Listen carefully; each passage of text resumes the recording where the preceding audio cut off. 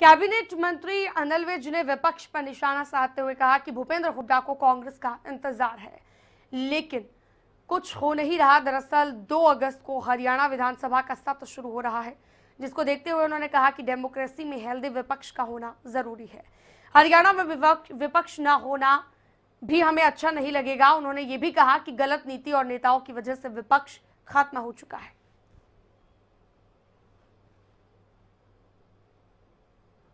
तो हमें भी नहीं लगेगा।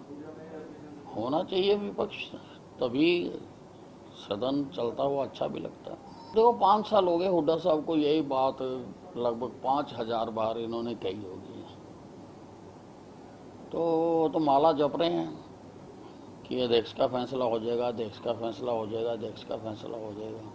अभी करना किसने, अभी उसी का ही तय नहीं है। उसने ही अपना इस्तीफा दे रखा है। कौन बनेगा, कौन करेगा?